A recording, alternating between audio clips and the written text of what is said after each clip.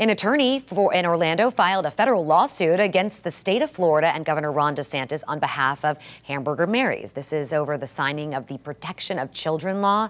Critics argue it is intended to target drag shows. Attorneys are asking a judge for an injunction to put that law on pause until their case can be heard. Hamburger Mary's claims since lawmakers passed the legislation, its business has dropped by 20% and caused other venues to operate in fear, even though they're running their businesses legally. That's what happens when the government, government makes people and businesses too scared to do legal things because of the potential consequences.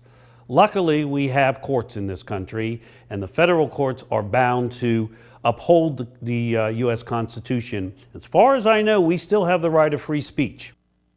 Governor DeSantis and Florida Republicans have argued the venues are forcing sexual behavior onto children. We did reach out to the governor's office for a response to the lawsuit. We have not yet heard back.